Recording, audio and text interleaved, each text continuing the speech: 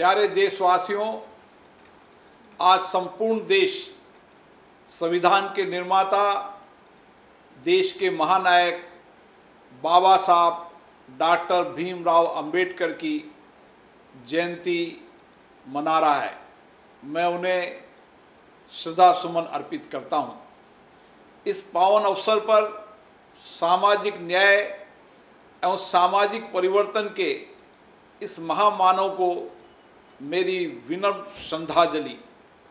बाबा साहेब का जीवन स्वयं संघर्षों तथा विषमताओं से भरा था।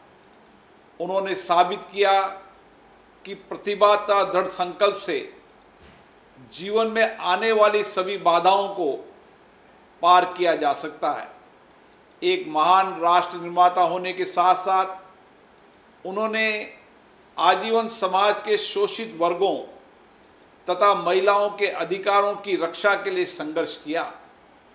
उनका लक्ष्य भारत में एक सौहार्दपूर्ण तथा समावेशी समाज की स्थापना का था।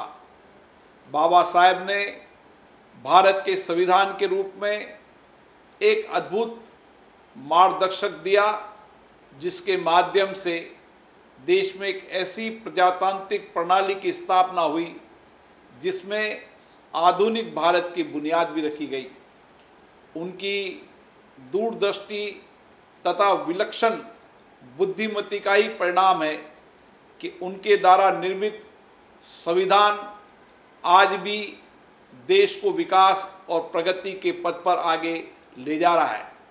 बाबा साहेब भीमराव अंबेडकर जी के विचार तथा उनके कार्य विभिन्न क्षेत्रों के अंदर उनके दिए गए विचार अलग अलग क्षेत्रों के व्यापक विकास के लिए उनके दे मार्गदर्शन सतत रूप से आज भी समाज को मार्गदर्शन करते हैं।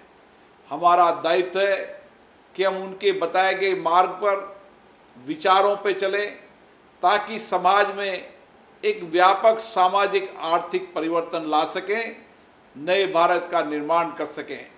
आज के दिन बाबा साहेब डॉक्टर भीमराव अंबेडकर जी को मैं पुनः विनम्र श्रद्धांजलि देता हूँ। जय हिंद।